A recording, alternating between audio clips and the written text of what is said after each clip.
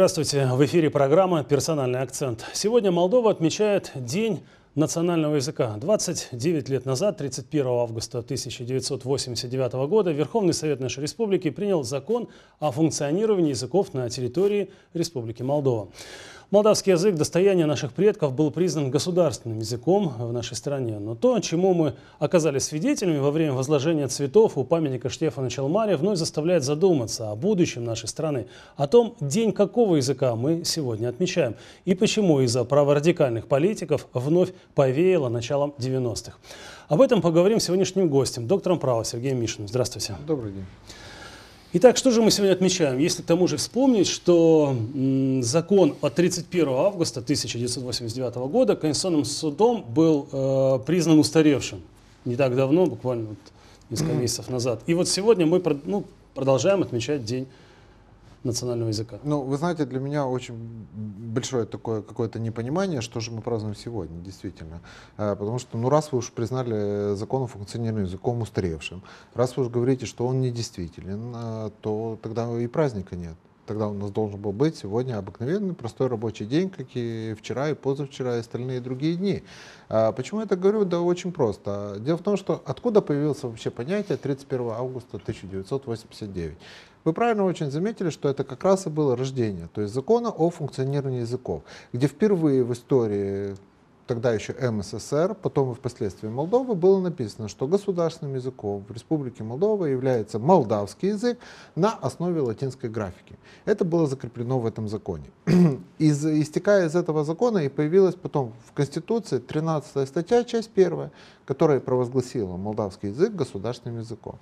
Соответственно, праздник э, был объявлен 31 языка как э, день родного языка.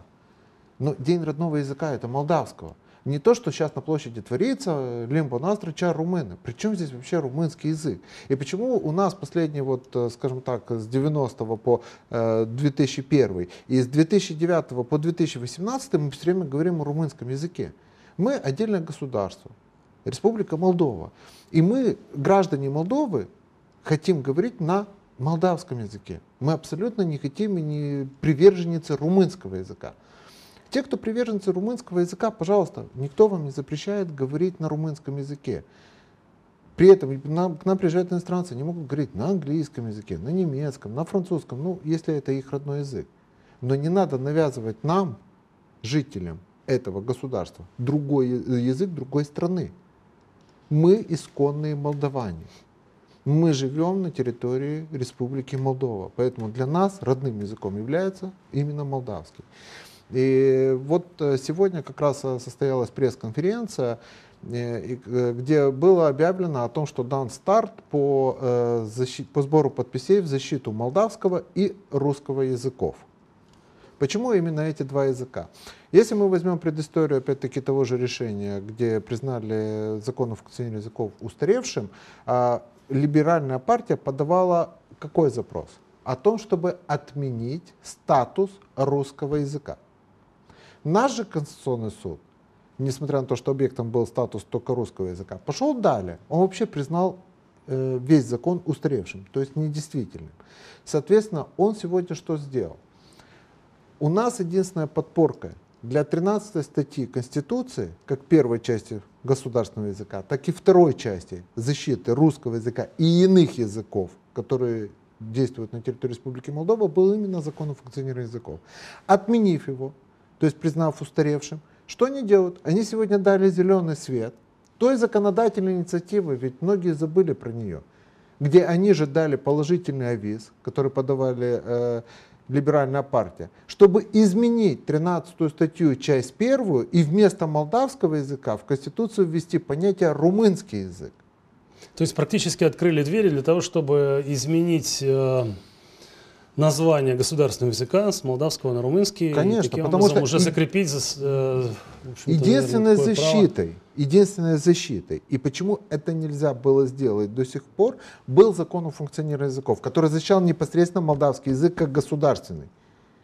А у нас что сейчас происходит? Закона нет, соответственно, делай, что хочешь с Конституцией. Можно заходить и менять 13 статью. И я думаю, вот мое мнение, что они пойдут на это, скорее всего. Поэтому мы инициировали сегодня совместно с общественной организацией «Заря», то есть за русский язык, э, большую акцию по сбору подписей. И призываем всех граждан Республики Молдова, которым не безразлично, поддержать нашу инициативу, собрать подписи за то, чтобы молдавский язык в Республике Молдова был государственным языком, русский язык был официальным языком.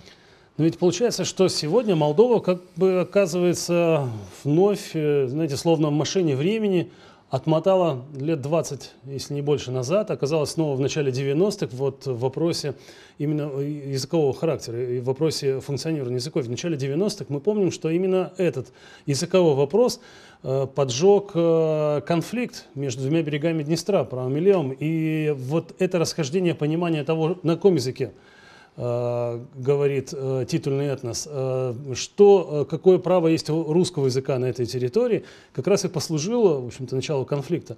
И мне кажется, что сегодня кому-то вот из власть придержащих, из кураторов этой власти, наверное, захотелось вернуться в эти начала 90-х для того, чтобы снова вернуть нас в какую-то горячую фазу, столкновения политических и общественных интересов. Вот, э, но это не только мое наблюдение, об этом уже ну, говорится э, достаточно знаете, я с, вами громко. Согла- э, я с вами согласен, что в, в начале 90-х годах действительно возник конфликт и разделил Приднестровье и правый берег Молдову на две границы, на две территории. А, но даже в тот момент, 90-е годы, если мы с вами вспомним, то все равно Конституция была при, принята у нас в 1994 году. И тогда в Конституцию был записан молдавский язык как государственный. Э, то есть в тот момент были не настолько радикально настроенные политики, власть придержащие, как сегодня. Вы посмотрите, что творится сегодня. Либеральная партия кричит о том, что у нас румынский язык. Либерально-демократическая партия кричит, что у нас румынский язык. А Майя Санду с господином Настасией и своими партиями кричат, что у нас румынский язык. И это все поддерживает власть придержащая демократическая партия. И они делают вид, что они борются между собой, но поддерживают одну и ту же идею. Понимаете, искоренение молдавского языка с этой территории. Мы с вами должны себе отдавать отчет. Да, конечно, языковой вопрос, он больной вопрос. И, и Латвия это проходила. Мы с вами видим, что в Украине сегодня творится, опять-таки, откуда это началось? С языкового вопроса. Здесь намеренно разжигают конфликт. Конфликт на языковой почве. Разжигается этот конфликт Соединенными Штатами Америки. И это уже ни для кого не секрет. Это украинский сценарий, это прибалтийский сценарий. Была попытка в Казахстане то же самое сделать. Даже в Беларуси была попытка, но не увенчалась успехом. Вот следующая страна, которая стала на путь, чтобы разжечь конфликт, это стали мы. То есть Республика Молдова. Вот это маленький островочек. Почему это возможно?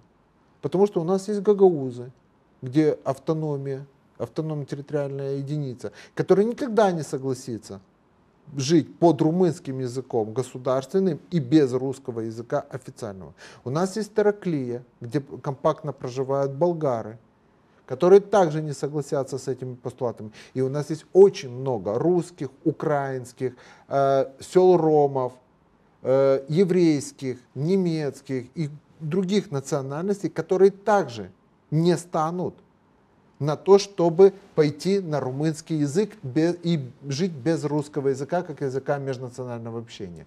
Но здесь есть еще один момент. Если мы с вами поднимем все опросы, которые существовали в Республике Молдова, в том числе и недавно, буквально месяц назад, проводился опрос, какой язык должен быть государственным.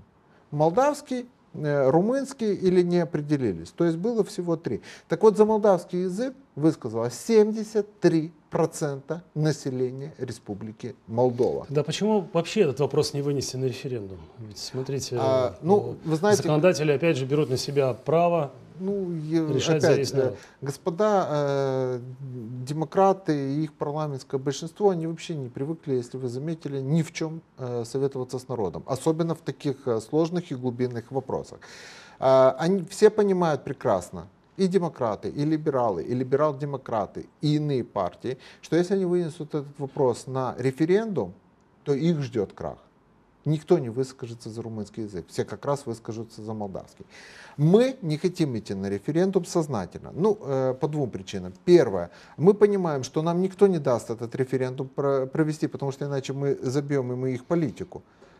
И политику их хозяев, которых они пытаются сегодня прислужить. Понимаете? И второе, э, мы все-таки не хотим э, сегодня тратить бюджетные деньги. У нас довольно много волонтеров, которые согласились взять подписные листы и просто пойти из, из города в город, из села в село, чтобы собрать эти подписи. Зачем? Лучше пусть эти бюджетные деньги, вместо того, чтобы тратить на референдум, мы пустим э, на пенсии, на э, зарплату учителям, врачам или кому-нибудь другому. Но, собрав подписи, хотя бы 200-300 тысяч, мы уже покажем всему парламентскому большинству, что, ребята, не шутите с огнем, Потому что если вы начнете шутить с огнем, то завтра встанет вся республика. Это не будет касаться только гагаузов или болгар. Встанет вся республика, станет все 73% населения, а это будет где-то около миллиона восемьсот, а то и двух миллионов людей, которые скажут вам нет. И не будут молчать, потому что наш народ, слава богу, 27 лет молчал. Но сегодня по реакции, даже после пресс-конференции, когда мы анонсировали о том, что объявляем акцию по сбору подписей, очень много откликов. Уже даже пошли, мы как бы старт дали завтрашнего дня, уже сегодня спрашивают, куда прийти, где подписаться. То есть нас это очень радует, э, что люди у нас стали уже не безразличны. Люди понимают, что их пытаются сегодня обмануть, люди понимают, что их уводят в другую страну.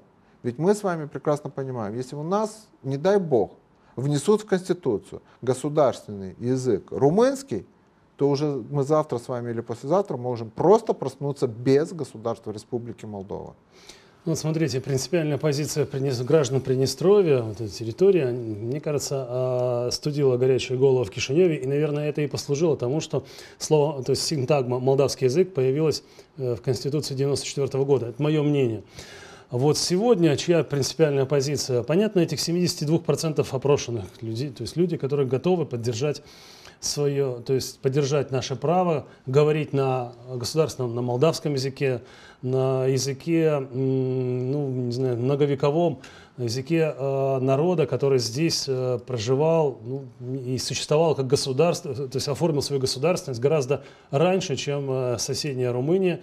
И в этом споре историков, как правило, сегодня, ну, в общем-то, почему-то побеждают чиновники, которые рисуют учебники для наших с вами детей, э, которые изучают историю румын вместо того, чтобы изучали историю Молдовы. Сегодня ведь даже э, вот если э, ну, те, кто наблюдает, те, кто управляет политическими процессами в Молдове, понимали, что в 1994 году принималась Конституция, и, конечно, была вписана синтаг молдавский язык, понятно, что тогда не прошло бы, допустим, название этому языку как румынский, и не готово было население это все воспринимать. В большинстве живуши, жив, живших на территории Молдовы изучали историю своей страны по советским учебникам. Они называли это язык молдавским, народ молдавским.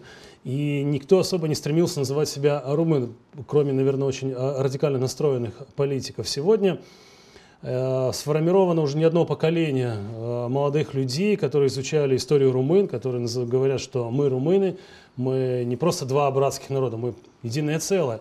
И э, вот этот э, шаг, который, то есть вот это, наверное, главное, ну, будем говорить, э, главное брешь, которая пробила, ну, вот в стене государственности, пробила вот либеральные, либеральные политики, пробили вот в, в стене государственности или, или даже в фундаменте молдавской государственности. И вот как быть тут, как удалось бы каким-либо образом все-таки отстоять право наших с вами детей, учащихся, изучать историю собственной страны.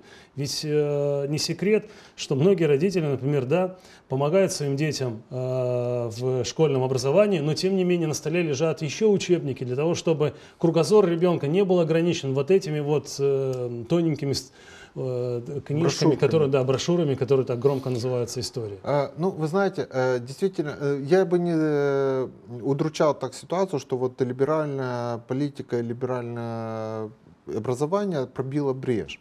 Нет, если бы она пробила брешь, то у нас не было бы сегодня статистики, что 73% э, населения считают, что государственным языком должен быть молдавский, и только где-то около там, 16 или 17% считают, что должен быть румынский язык э, государственным языком.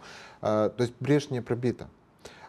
У нас сейчас задача как раз наоборот. То есть мы видим, что сегодня управляется государство определенным анклавом политиков, который не видит и которые не являются государственниками этой страны.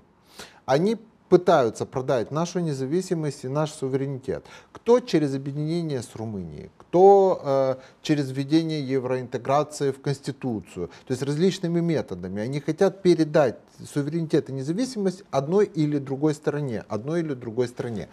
Так вот, наша с вами задача сегодня как раз наоборот. Наша с вами задача не с населением работать, а выбить этих э, политиков из своих кресел, чтобы туда пришли действительно патриоты этого государства, чтобы пришли государственники, которые уже не, вот они уже и тогда и поменяют историю с Румынии на Молдавию. Они уже э, закрепят молдавский язык как государственный настолько жестко, что никто не сможет уже последующий прийти и изменить это, даже если государство перестанет существовать. Они закрепят тот же русский язык настолько жестко, что уже никакая партия не сможет обратиться ни в какой конституционный суд, неважно, будут там граждане Румынии или граждане Германии, или ну, нас, видите, все возможно, да, что в Конституционном суде Республики Молдова сидят граждане других стран и выдают свои заключения настолько жестко закрепили бы эти два понятия, и у нас этот вопрос был бы снят. Вот у нас по логике вещей, да, что нужно сделать? Вот сегодня есть 13 статья Конституции, есть закон о функционировании языков. Два нормативных акта. Вот первую часть статьи, где написано, что молдавский язык является государственным, нужно более э, жестко закрепить в законе о функционировании языков и вывести его в такое конституционное поле, что никто бы не смог э, к нему подойти.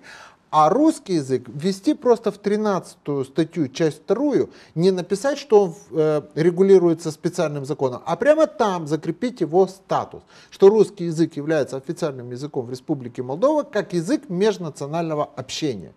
И этим мы уберем все вопросы. Вот все вопросы, которые возникают у нас на протяжении 27 лет, они уйдут, просто уйдут в небытие. И тогда нам легче будет разговаривать с гагаузами, нам легче будет разговаривать с болгарами, нам легче будет решать приднестровский вопрос, нам легче будет разговаривать с украинцами, русскими и иными национальностями, проживающими в стране. Ведь и при этом, если мы закрепим и снимем этот вопрос, у нас и уйдет другой вопрос, который всегда все задают, что русскоязычное население не хочет изучать государственный язык. Да, такая проблема существует. Но он не хочет изучать не потому, что он просто не хочет, а потому что существует три фактора. Первый фактор, что государство обязано обеспечить интеграцию этнических меньшинств на территории в общество, и оно это не делает, и никогда не делало на протяжении 27 лет. Оно все время заставляло, заставляло, заставляло. Второе, должен быть дать переходный период для изучения языка. То есть, что это такое? Вот я русскоязычный человек, да, я не знаю э, государственного языка. Я прихожу работать в госструктуру. Меня принимают туда. Не говорят, иди вот поучи язык ну, за свой счет. Раз наоборот, незнание молдавского языка. Вот. а, меня, нет, а меня принимают туда и говорят, вот, знаете, как испытательный срок. Вот мы тебе даем полгода, так как ты госчиновник, ты пришел работать на госслужбу. Мы тебе даем полгода. Вот тебе бесплатные курсы наши, качественные, оплачиваемые за счет бюджета. И там качественный преподаватель, на которые ты должен ходить и изучать государственный язык, при том, что ты знаешь свой родной. И, я, и если ты за полгода пройдешь эти курсы и будешь знать, ты останешься дальше работать и будешь расти в карьере. Если ты это не сделаешь, тогда, извини, будь добр, будешь уволен. Вот когда человеку дадут, то есть он будет осознавать, что он знает свой родной язык, и он может еще выучить государственный язык, и дальше от этого будет зависеть его карьера, его заработная плата, пенсия и так далее, что он может обеспечить за счет этого семью, поверьте, он пойдет и выучит его за эти полгода. И начнет работать на нем. И тогда он будет знать два языка. У нас за 27 лет хоть раз это было сделано? Ни разу. У нас сделали какие-то подобия бесплатных курсов чуть выше примарии, где люди, причем сами русскоязычные, идут, записываются туда на курсы, они должны начаться через месяц. Им перезвонят, извините, мы сегодня группу не набрали, подождите еще 2-3 месяца или полгода, может быть, мы наберем, и вы придете изучать. Это забота государства о людях. Это желание интегрировать э, э, нацменьшинство в общество о чем мы говорим. А когда вот, пожалуйста, в Гагаузию мы приезжаем, гагаузы сами говорят, ребята, мы хотим, чтобы наши дети знали государственный язык, чтобы они жили на этой территории, чтобы они могли поступить в вузы Республики Молдова. Но мы ничего не можем сделать, потому что когда наш ребенок идет в детский сад, и мы говорим, пусть им преподают э, государственный язык, нам говорят, извините, у нас нет преподавателя, у нас нет такой штатной единицы, потому что министерство или кто-то не дал ее. Так о чем мы тогда говорим? Что вы тогда заставляете? Что вы говорите, что русскоязычное население не выучило? А что вы сделали для того, чтобы это было? Да, Хотя это, это все гарантировано Конституция. И это обязанность государства. Обязанность сделать. Тем не менее, смотрите, из тех заявлений, что прозвучали сегодня на таких вот э, праздничных э, мероприятиях у памятника Штефану Чалмаре, э, ну, звучало очень много радостных таких вот заявлений относительно того, что румынский язык вернулся домой.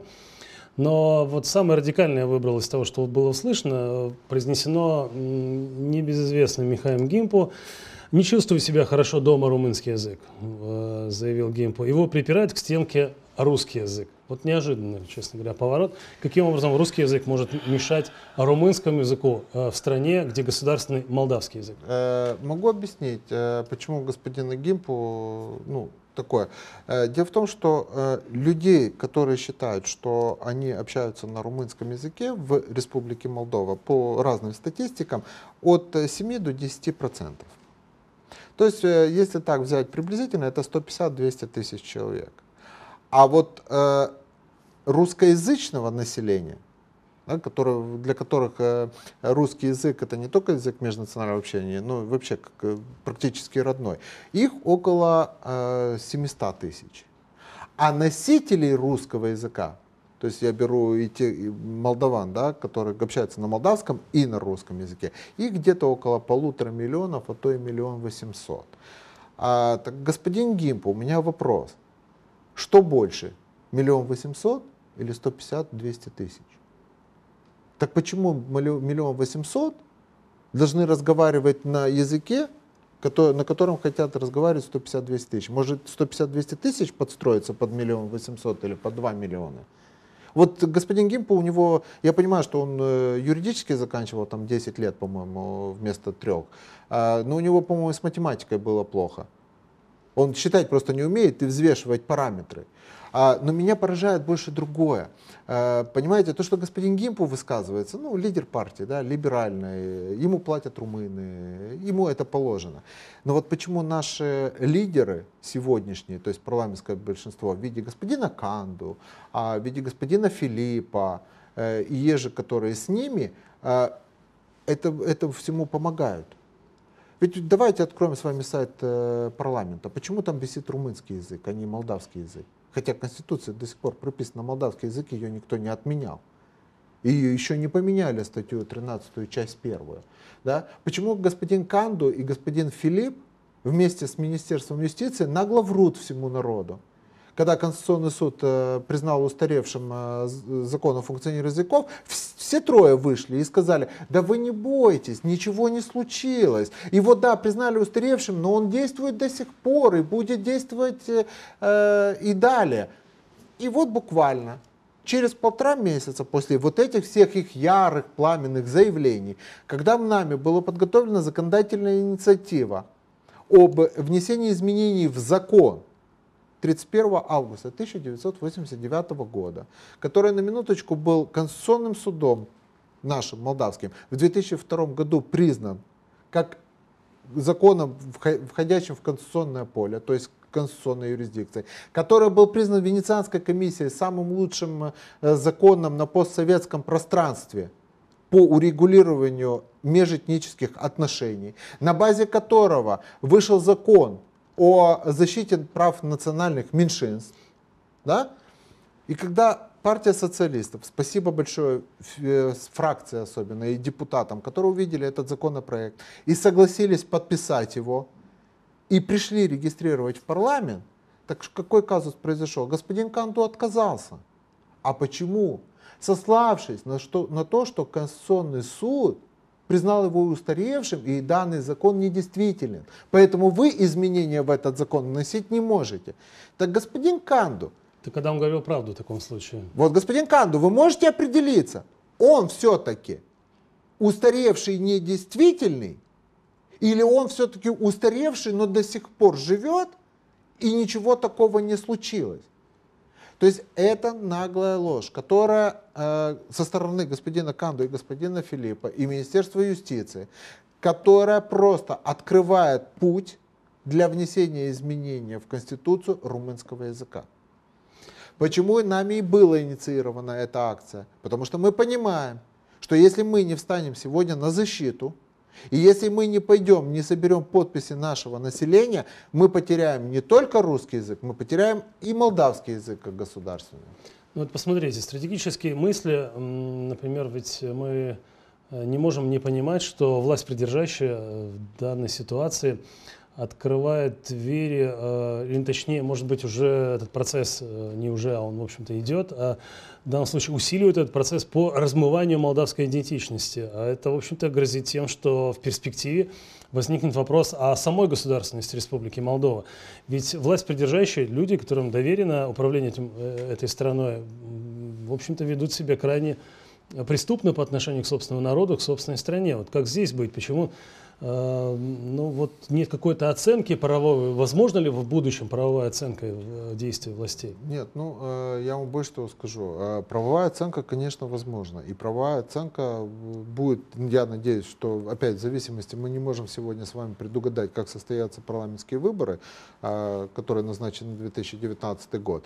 Но я все-таки надеюсь, что придут здравые силы, уже наконец-то в это государство, придут наконец государственники, которые будут пересматривать и не только пересматривать законы, которые были приняты, а не только а, будут пересматривать те законопроекты, которые легли в парламент и ждут своей очереди, да, а, но также будут а, смотреть а, на действия, которые были произведены определенными должностными лицами. И я думаю, что очень много будет пересмотрено, в том числе и решений Конституционного суда, которые были приняты за последние полтора года. Даже, э, ну, далеко не будем ходить, не будем уже возвращаться, много было разговоров по поводу отстранения на 15 минут, э, э, когда признали, что декларацию о независимости превалирует над Конституцией, что вообще юридический нонсенс. Как может нормативный акт, который был раньше Конституции, принят, и принят причем на площади не большинством населения. Да, это дал толчок на то, что Молдова стала независимой. независимой. Но пункты основные, которые были указаны в Декларацию о независимости, легли в Конституцию. И после того, как Конституция была принята, этот акт стал просто историческим.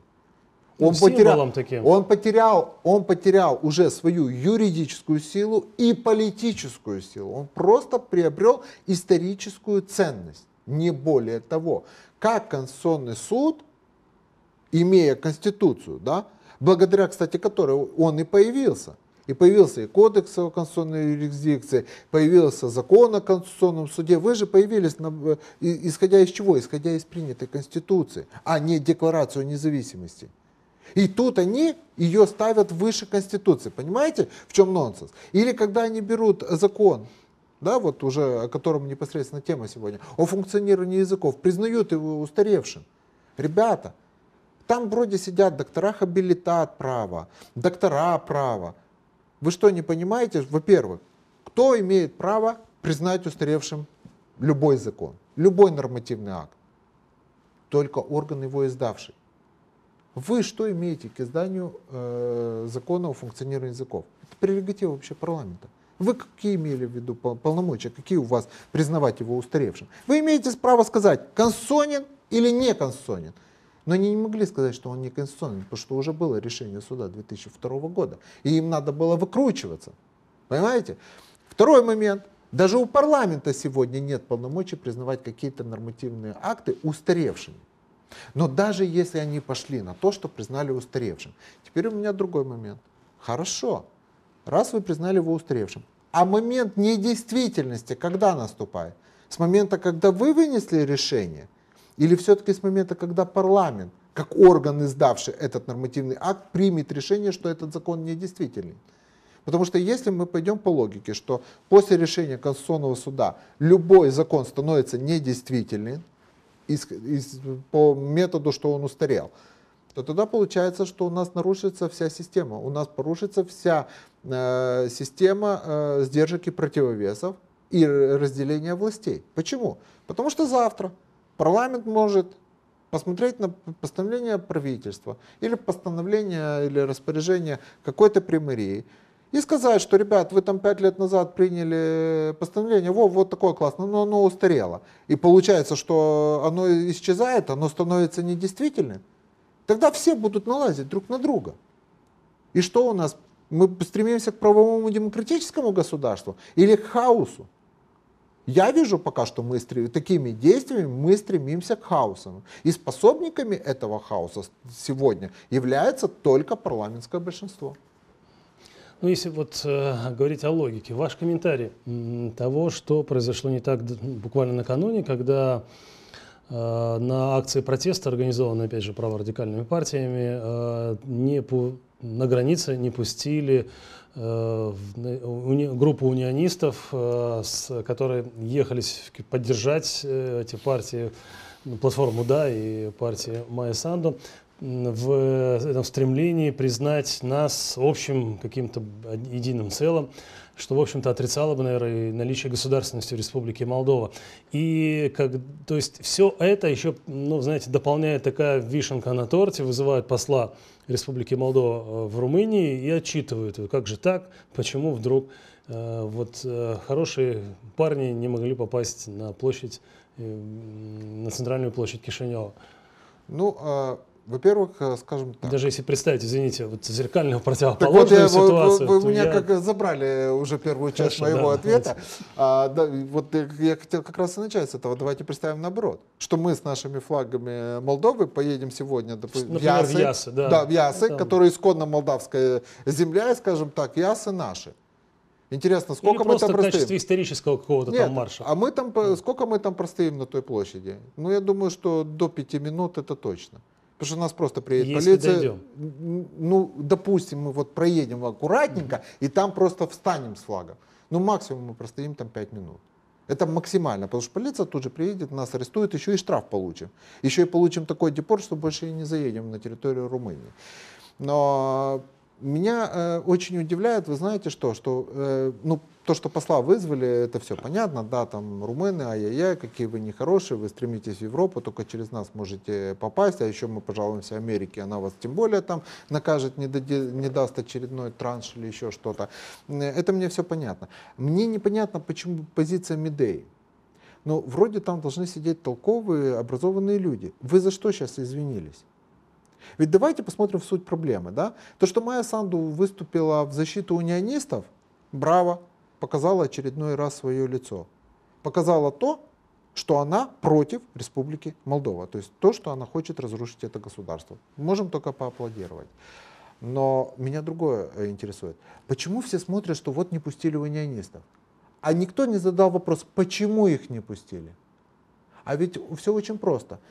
Есть определенные законы и положения о прохождении государственной границы. Правильно? Правильно. Когда они подошли к государственной границе Республики Молдова, их пограничная полиция и таможенная служба попросила предъявить документы.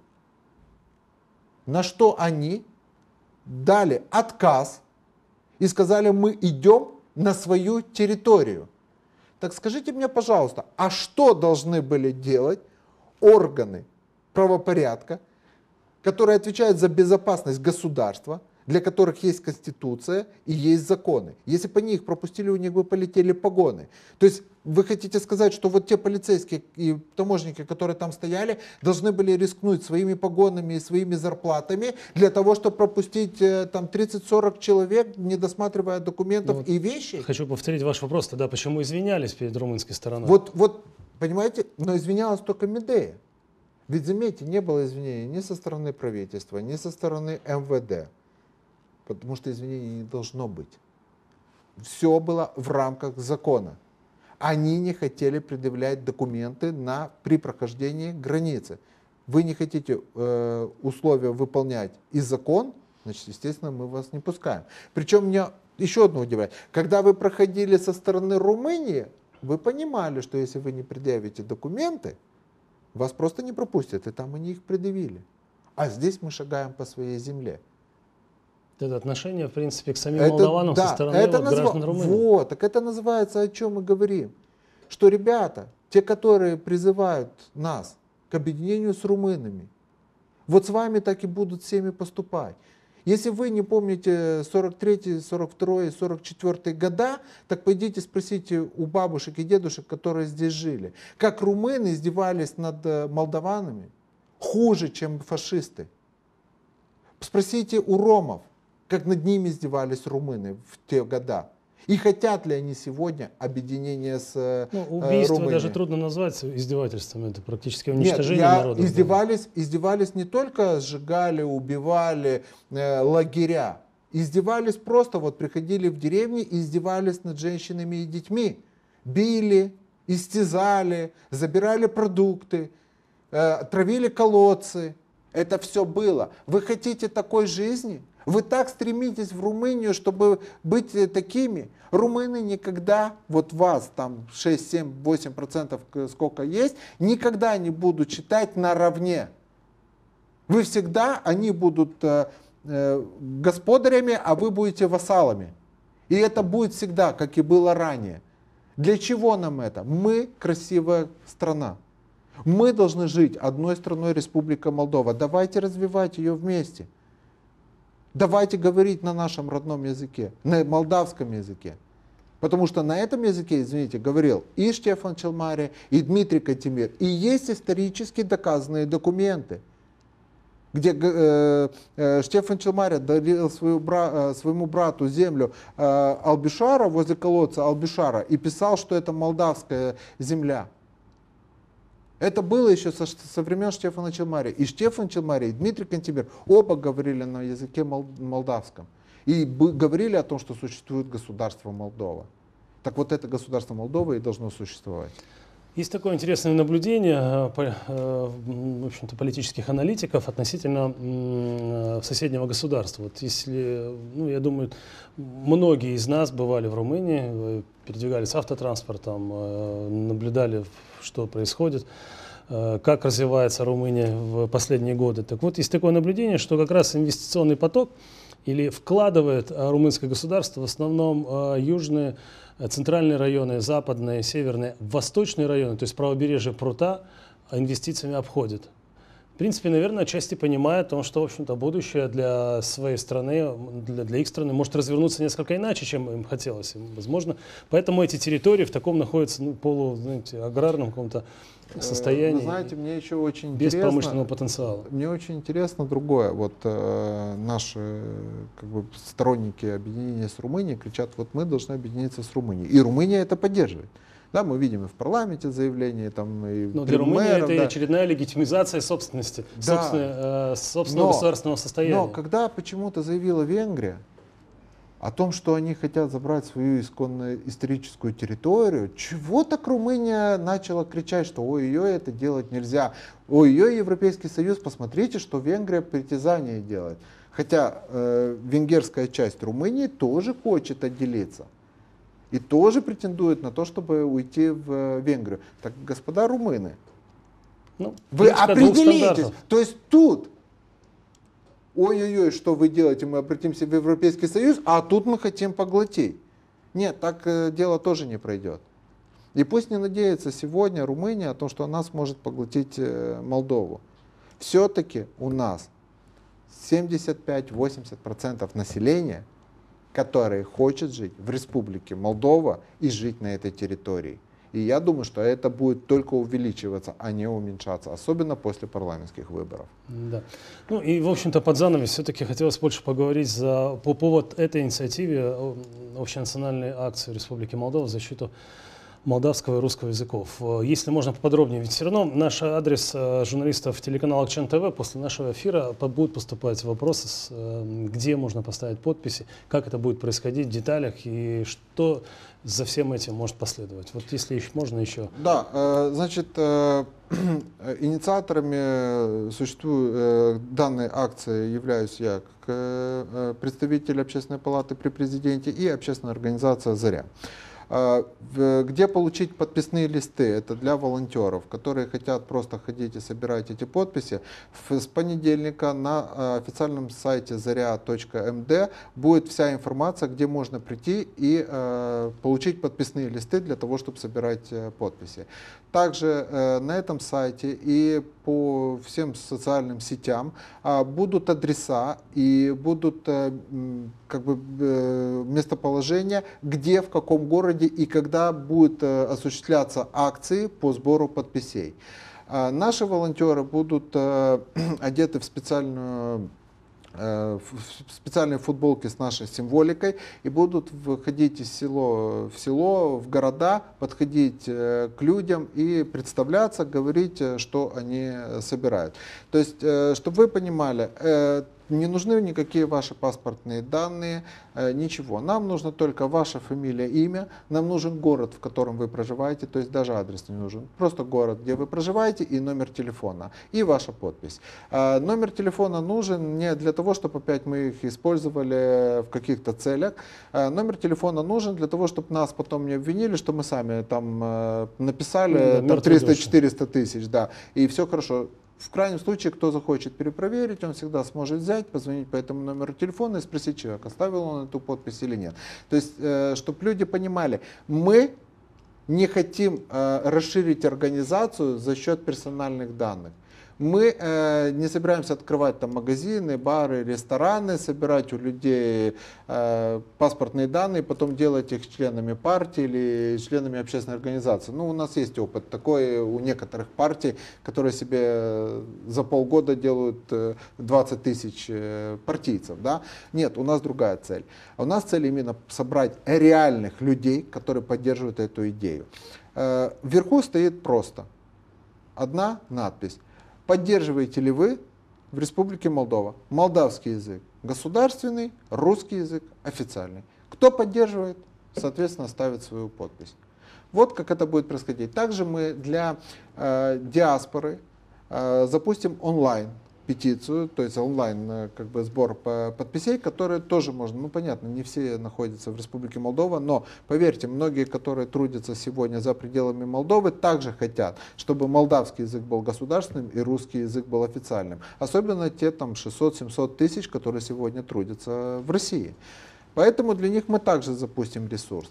Когда мы э, планируем акцию пока до конца ноября месяца, и мы не ставим перед собой каких-то жестких э, целей, но хотим до 500 тысяч подписей собрать. Э, почему? Потому что если вдруг, не дай бог, э, будет подан новый закон о функционировании языков, где пойдет государственный язык румынский, мы тогда сможем поднять э, большой хай. Мы сможем прийти в парламент и показать подписи людей, чего они хотят. Мы можем поднять все международные структуры и показать подписи людей, чего они хотят. Мы можем поднять тогда вопрос в правительстве, вопрос в, в, по недискриминации и иные э, органы для того, чтобы мы отстояли наше право и нашу Конституцию. В последующем мы все-таки надеемся, что те изменения, которые вот были разработаны и подписаны партией социалистов, а, будут приняты парламентом и будут внесены в закон о функционировании языков, где мы застолбим все-таки молдавский язык как государственный. И на будущее, когда уже сменится парламент, э, мы придем с теми же подписями э, уже тому большинству парламентскому, которое будет, надеюсь, уже не такое, как оно будет сейчас, Э, и попросим, чтобы они закрепили русский язык как официальный язык в Республике Молдова, исходя опять-таки из подписей, которые будут собраны. То есть, скажем так, это мини-референдум, для наших граждан. Для формирования законодательной Да, для того, чтобы не, не просто это не просто для формирования. Сформировать мы можем и так, но нам нужно поддержать эту законодательную инициативу и наконец-то показать всем власть придержащим, что в Республике Молдова за независимость и суверенитет отвечает народ, а не, какая, не какая-то шаечка там, депутатов или либерально настроенных политиков. Спасибо вам. Достаточно все понятно и ясно, и, в общем-то, ну, вполне откровенно. И э, хотелось бы, конечно, чтобы это начинание э, получило самый широкий отклик у граждан Республики Молдова, потому что ведь в этом всем есть и отклик на понимание того, как отстоять и свой собственный язык, и свою государственность, и свое право жить, э, воспитывать своих детей на территории своей страны, которая называется Молдова, никак иначе, и которая сказать, имеет свой молдавский язык. Спасибо вам. И вам спасибо. Вы смотрели программу «Персональный акцент». У нас в гостях был представитель общественной палаты при президенте Республики Молдова, доктор права Сергей Мишин. Оставайтесь с нами, будет интересно, мы работаем для вас.